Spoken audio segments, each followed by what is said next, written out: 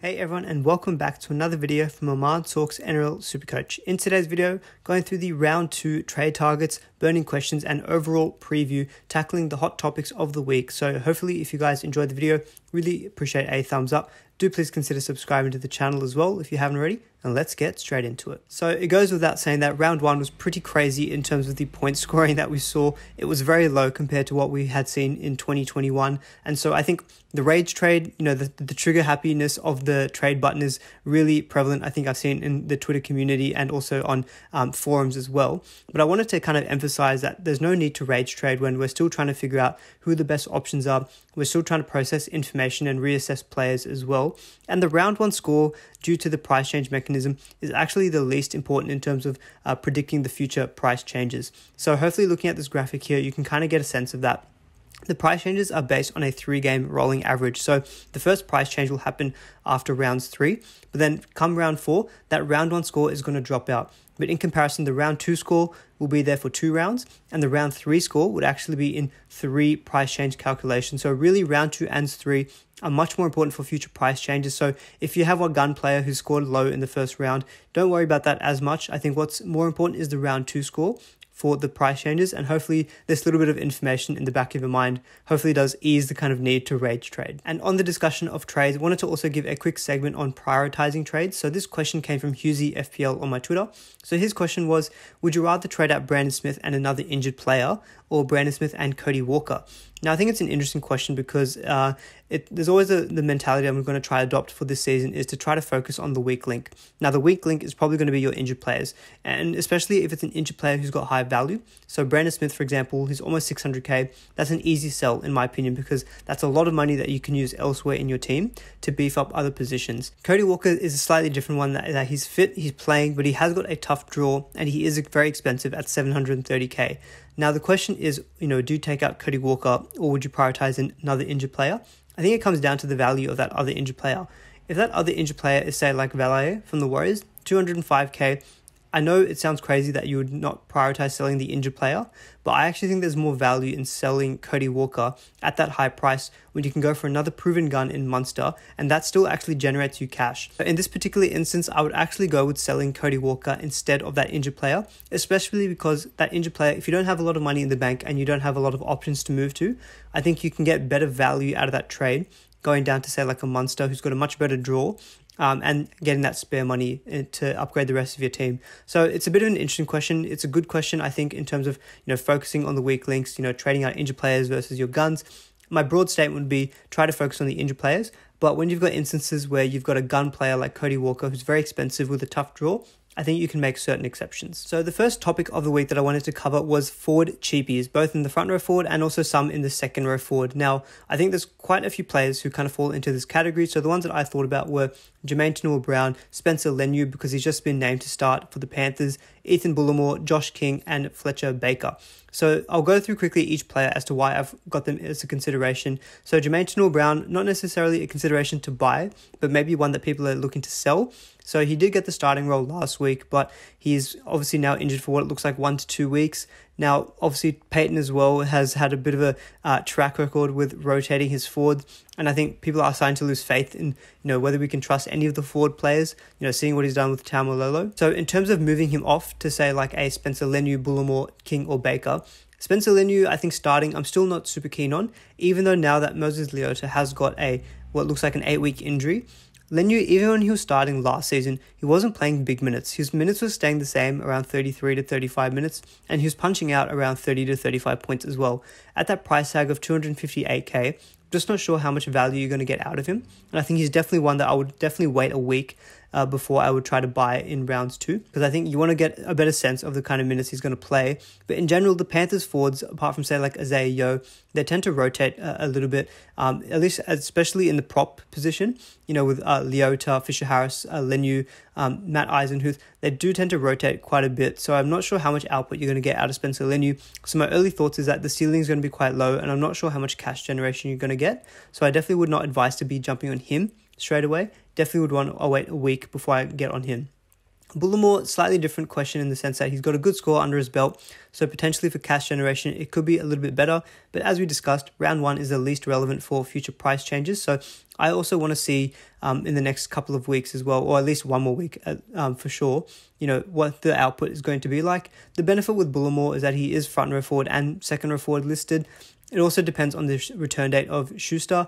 Now, if it's only six weeks that Schuster's going to be out, so we say, say, say we expect he's going to come back rounds five or round six, I just don't know how much extra cash generation you're going to get out of Bullemor, and so I'd be a bit more confident in Bullemor than say over a Spencer Leniu. Just playing on the edge, maybe there's some attacking upside there. We saw him get a try already in that game, and the output was not bad 45 points in base from the 80 minutes that he played. So I think he's a little bit more safer as an option than say a Leniu. But again, I think if you can avoid getting him uh, this week, maybe it's best to wait another week to see how he goes. Josh King is an interesting one because obviously with injuries now to Christian Welch for the season and Brandon Smith for several weeks, it means that there are definitely minutes on offer in that Storm forward rotation. Josh King has been named to start again for the second week in a row. Last week, his minutes were inflated a little bit, given that Brandon Smith went down in like the first five minutes, I think it was. So King played 64 minutes and he had 45 points in base. Now, he did get minus four points in negative um, stats there, so that's why his total score is 41. 45 points in base um, in 64 minutes playing in the middle is fine. It's not amazing, but I have a better confidence in him, I think, in his starting role, or at least his minutes moving forward, just because of those significant long term injuries to um, Christian Welch. And it looks like Smith is going to be out for quite a few weeks as well. So I've got a bit more confidence in Josh King. Bit of a downside maybe is that PPM Playing in the middle, you'd probably hope that that PPM is a little bit higher, but with King, he's a little bit cheaper as well than the likes of a Bullemor. One potential move I am thinking about is maybe Jamayne Taunoa-Brown down to Josh King just to create some extra funds. You know, if King produces scores in that mid 50s range, I'd be happy enough with that um, out of a 256k option. And so I've got, a, I've got a bit more confidence, I think, picking King than, say, a Leniu or a Bullemor because I feel his place in the team is going to be a little bit longer. Now, Fletcher Baker is an interesting one. At 267k, he was named to start off the bench for the Roosters. He's only listed at 2RF, but if he was named continually at that starting prop position, then he would get that second row forward and front row forward dual flexibility added. Now, the base output was pretty good 42 in base from just the 33 minutes. So, the best thing about him compared to some of these other options here, he definitely had the best PPM and the best output. I guess the question is he's named on the bench. Is he going to keep getting named in the starting position, um, you know, come the actual final team lists, or is he actually going to be named on the bench? So the nailed onness of him as a starter is a little bit more up for debate. So I'm a little bit less keen on Baker just for that particular reason. I think Bullemor and King would be my preferred options. I think King, if I was looking for a trade in this week, would probably be King. Um, and Bullemor maybe would be one I'd want to wait another week on just to see what the output is like again, playing the full 80 minutes, and also because of that potential early return date for someone like a Josh Schuster. So that's my overall thoughts on that. I definitely think it's okay selling Jamayne Taunoa-Brown, even though it's only one to two weeks. Um, the base output was fine 27 base in the 24 minutes that he played. But the rotation risk with Payten, I'm already a little bit um, off him. And I think if I can create some extra funds to make some upgrades elsewhere in my team, I'm probably okay with doing that move myself this week. So unfortunately, another player that got injured was Sean Russell. He scored a hat trick, but um, is obviously now going to be out for what looks like three to six weeks. I would ideally want to wait for uh, better information in terms of the length of that injury layoff, because if it's only for three weeks, then I could definitely see an argument to holding.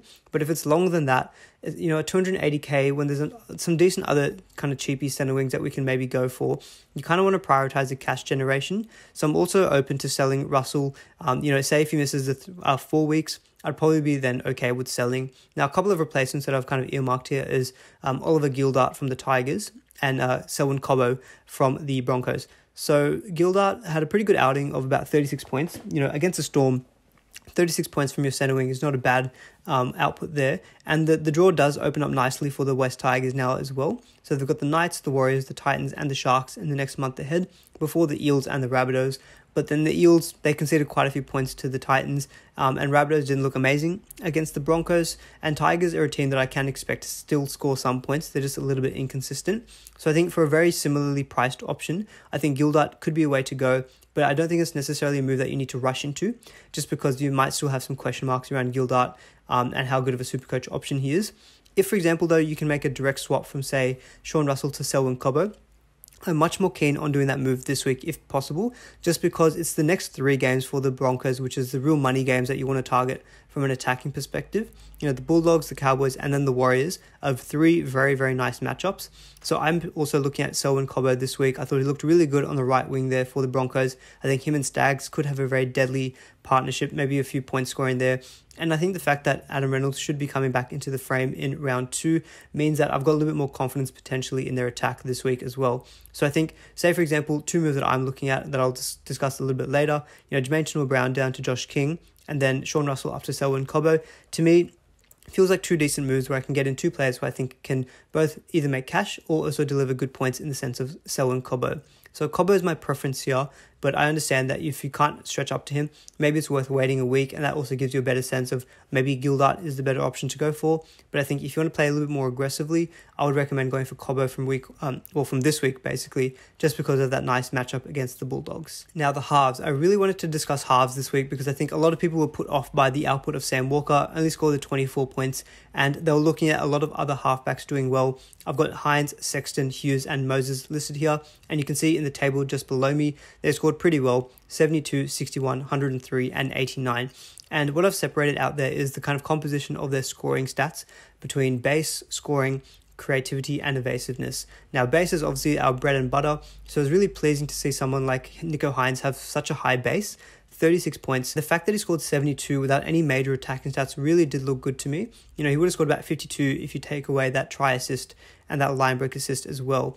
The fact that he's goal kicking, you know, I can see the Sharks scoring two to three tries a game, you know, on average. And so Hynes would probably get about 12 points there in addition on, with the goal kicking. So a floor of 50 for Hynes, I think, is really, really appealing. So I don't mind going for Hynes.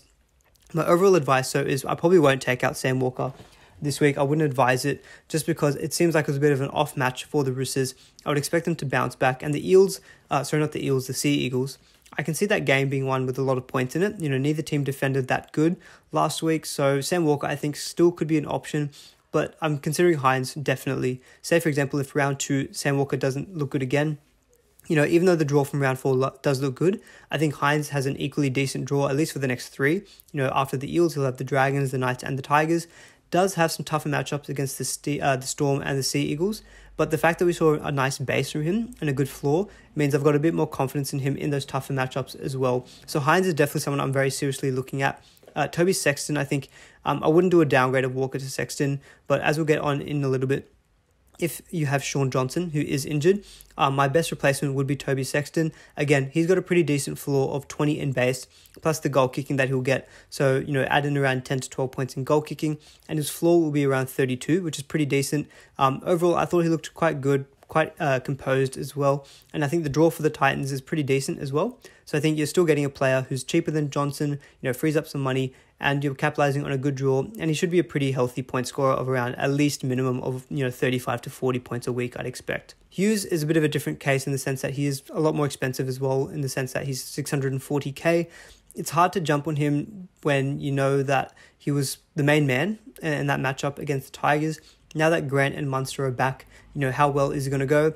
my thinking is that he probably will go equally as well um, with all of his team back. And the fact that they're probably going to score more points as well means that I think Hughes is a great option to go for. But I guess, my, again, my overall advice I wouldn't be looking to do these switches from, say, a gun halfback like Sam Walker just based on one round. I would definitely want it to give it a week and I think the benefit is that um, most of these guys, apart from Sexton, don't have the best matchup on paper this round. So I think you can afford to give it a week. Someone like Moses as well has got the Storm in round three. And so I think Moses, you know, you could very easily make a switch to him in, say, round four. I definitely see him more as a kind of a flat track bully. And so, you know, maybe a Sam Walker to switch to uh, Moses in round four could be on the cards. But as you can see there, uh, Walker has got such a good draw from round four onwards. I don't even think you'd be tempted to do it then.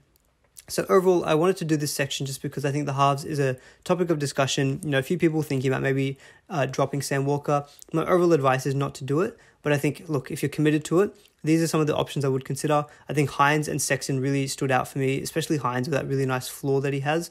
And I think if you can stretch up to Hughes, obviously that's going to be a good move.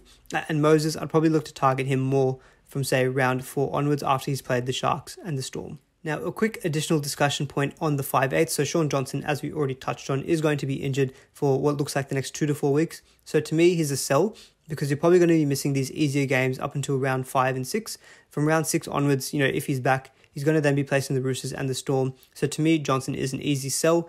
Now, if you've got him in the 5 8 slot and you can't say move to one of those halves that we previously outlined, um, there's some kind of 5 8 options around his price, but not too many. Ideally, you'd be moving to say like a Toby Sexton at a similar price. I think I'd be making a switch to Dylan Brown though. Now, Brown only scored about 40 points on the weekend, but he was shifted to centre and he did look a lot better when he was playing in the halves. Now, they do have, I, I can't remember his name um, on the bench, but he should be offering some centre coverage if in, in case there's another injury there. So I'm thinking Brown should be in a better position to actually play more in the halves. It's a decent matchup against the Sharks. He's got very good base, so you're not concerned, I think, with, having, with him having such a low score. So Johnson to Brown, I think, is probably a move I would do. Now, I know Wighton scored very well on the weekend and he is very heavily traded in. I just never see Wighton as a great super coach option. Now, he looked good, don't get me wrong, and it is a good matchup against the Cowboys, but then the run is a bit tougher after that. You know, Sea Eagles, Storm, and the Panthers in three of the next four from rounds four onwards. To me, I'd rather capitalize and say like a Dylan Brown who's got a better long term draw, and I've just got more confidence in him just because I know he's got better base, and with the addition of a couple of attacking stats, I know he should hopefully deliver some value as well. Now, Clifford, I have seen a few people mention Jake Clifford as well, another goal kicker.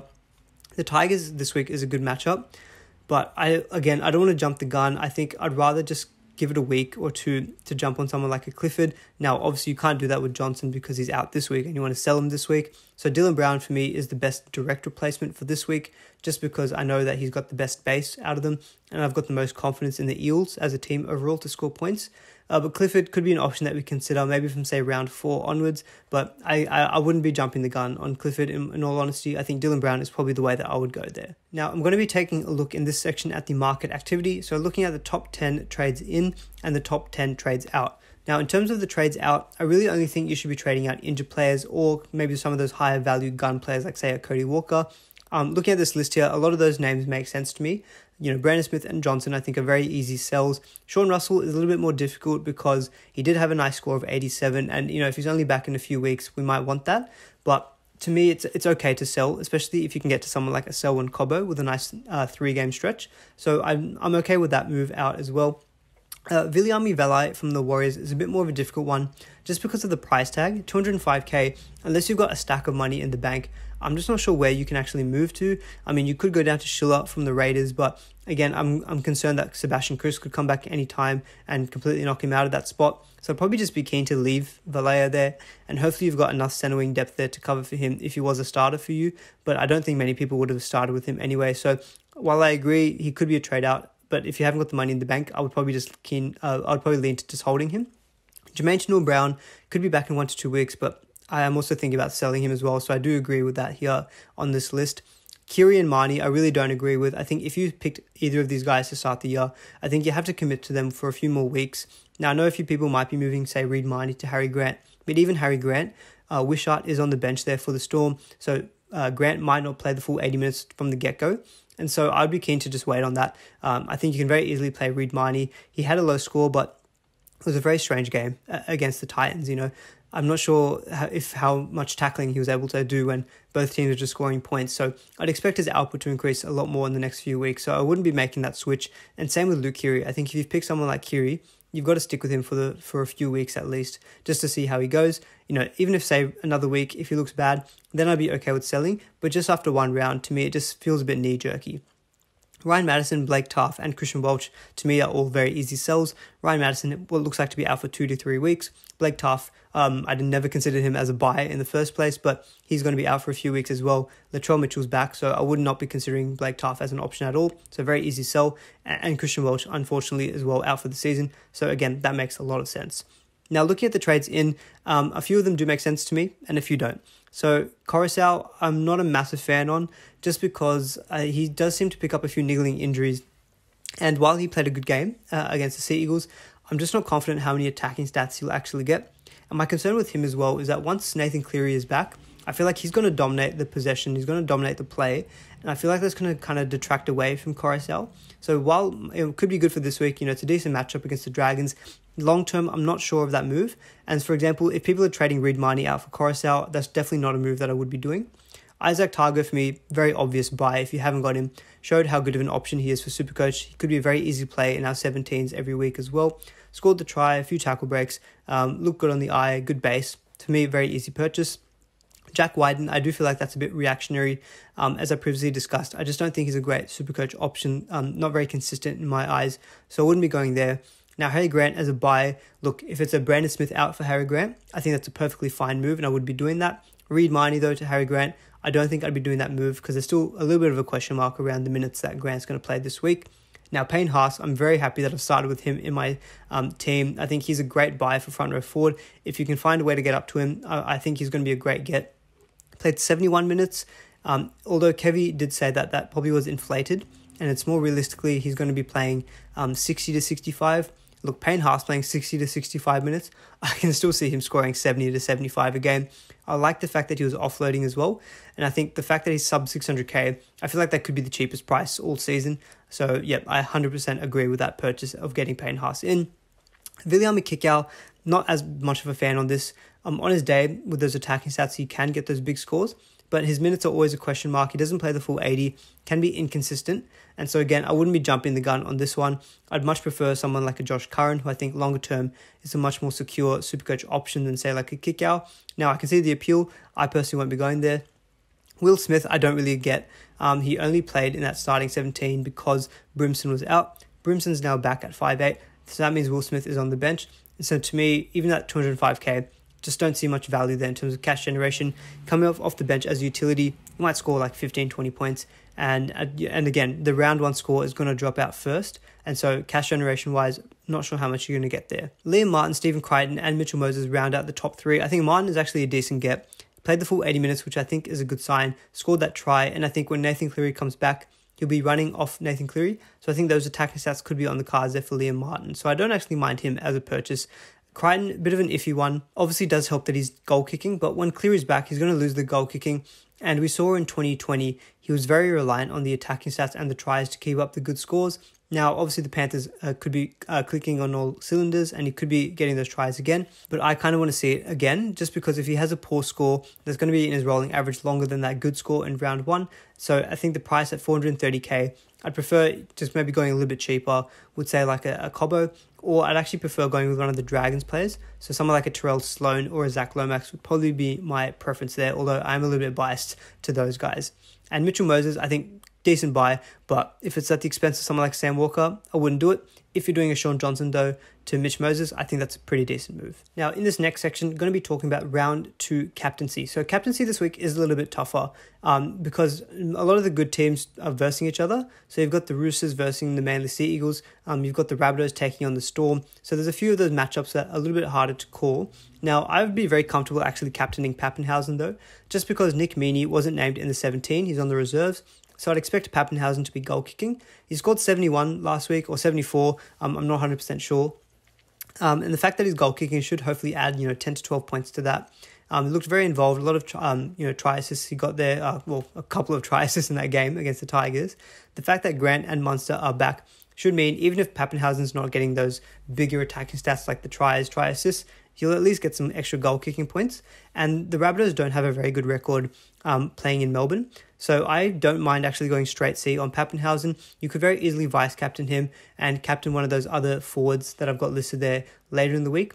That's my current tentative plan, is to vice captain Papenhuyzen and then to captain someone like a Fifita or a Haas. But I think there could also very easily be an argument just to straight captain Papenhuyzen in the first game of the week. I've got Teddy and Turbo listed as vice captain and captain options here. Now, Turbo, I think, could be a very comfortable captain if you do have him, just because the Roosters conceded quite a few points. Um, you know, Turbo scored what, 62 points, and they only scored six points in that game just imagine if say Manly scored 18 points, you could see Turbo at least getting maybe a, a, try or an extra try assist as well. So he very easily could crack 100. So I think Turbo, if you've got him, I'd be very confident captaining him as well. Now Teddy, I'm a bit iffy on just because of that performance. It does put me off a little bit. I think Papenhuyzen is a better captain option than Teddy this week. So I'd be captaining Papenhuyzen over Tedesco.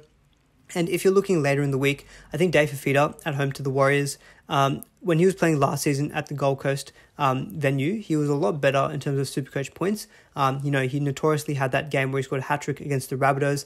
Now the question mark with him is, you know, sometimes he looks uninvolved, but look, he looked uninvolved and he scored 60. So if he's on top of his game in that particular week against the Warriors, he could very easily crack 100. So I'm currently got the captain's armband on Fifita and the vice captain on Papenhuyzen, and I think Fifita should definitely be a consideration. What puts me off though is that he does tend to sometimes get lost in games, and so I'm never quite certain of what which game he's going to get those big hundred plus point scores. Now, Nicho Hynes, I've got as captain as well, just because of the fact that I saw the Parramatta Eels concede like what 26 points to the Titans, and I think the fact that he's got a very good floor, as we've discussed, you know, I could very easily see Hynes being a, maybe a safe kind of 75 to 80 points as well if you've got Hynes and, and Payne Haas again. I think a very safe captain option could score you like, you know, 70 to 75 points, and you take that, you know, in any given week. So I think Payne Haas in the last game against the Bulldogs, if, say, for example, you've got vice captain Papenhuyzen and he just didn't quite hit the heights, I think someone like Fifita or Haas could be safe um, captain options in the forwards. And so for me, my current plan is vice captain Papenhuyzen and then captain either one of Fifita uh, or Payne Haas. But if I get any extra news, I'd be keen to also just captain Papenhuyzen straight up in the first game of the round. And so in the final part of the video, I'll just quickly run through my team and what my kind of early thoughts are as well in terms of just general team selection with reserves. Now, I'm not keen on taking out any of my major gun players. So at the moment, um, I've got Taunoa-Brown injured, and I've also got Sean Russell and Vailea injured. Now, if I had to, uh, you know, this is kind of what my team set up at, as it stands without having to play Russell or Vailea. Um, I'd be reserving Tedesco, Vice Captain Papenhuyzen, Captain's armband on Fifita. I play Tuilagi, Randall, and Max King, who's named on the bench, which is not ideal. Now, I could very easily just run with that team, but I kind of want to be a bit more aggressive if I can, just because I know like there's some uncertainty around which are the best forward cheapies to go for, but I kind of want to be aggressive just in the early parts of the week just to kind of set up my team. So what I'm thinking initially is um, taking out someone like Taunoa-Brown just for one of those bench cheapies forwards that we discussed. So, for example, the player that I'm thinking about uh, is Josh King, just because I feel like he's a bit more secure in terms of the um, you know the minutes that he'll get longer term. I could go for a Bullemor, but I do prefer that saving that I can get on Josh King, and it does let me make a decent upgrade elsewhere, as you'll see uh, very soon. So just finding Josh King there, what did he score? 41 points. So I bring in Josh King then, and that leaves me 42k in the bank. Now, what I can actually do with that is I can take out Sean Russell, and that lets me get up to Selwyn Cobbo. Now, to me, that seems quite like exciting. Um, I really like that next three game stretch for the Broncos, and so I could very easily bring in Cobbo. And then what I would do there is I'd probably reserve um, Cobbo, Tedesco, um, Tuilagi, and then Randall. So it doesn't. It means I just don't have to, um, you know, reserve Max King coming off the bench, um, and I don't even have to play Josh King. Now that leaves me with less money in the bank, but my early thoughts are that next week in rounds three, that's the first round before the price changes happen. So I'll probably want to use three trades and my trade boost just to set up my team. And so because I'm not quite sure what I'll have to do next week, I'm kind of keen to get these moves done just so that I don't have to worry about them next week. And so that means next week, maybe I can just make some bigger upgrades elsewhere in my team. But you can see at the top there, those are the thoughts that I'm thinking of at the moment with trades. I could very easily hold. I'd be keen to see what you guys think in those as well in the comments below. But I think Taunoa-Brown and Russell Alpha King and Cobbo to me feel like pretty decent moves overall. But that's it guys, I'm going to end the video there. Hopefully you guys found some value out of that. If you did, really appreciate a thumbs up. Do please consider subscribing as well to the channel if you want to see more content like this throughout the season. And I'll see you all in the next video.